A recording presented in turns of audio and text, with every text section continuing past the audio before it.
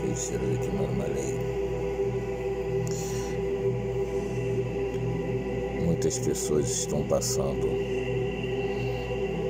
por a dificuldade com o pulmão e com o novo vírus. Se você quiser se proteger,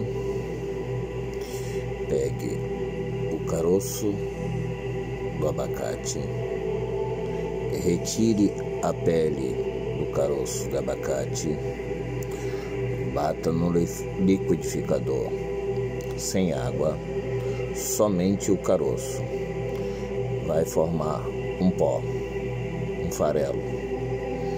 Você vai consumir no café da manhã, no almoço, à tarde e na janta.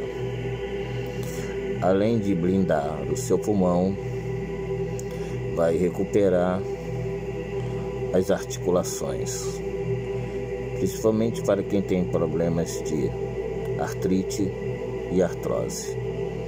Existe muito mais benefícios que eu poderia relatar com o milagroso caroço do abacate. Boa noite.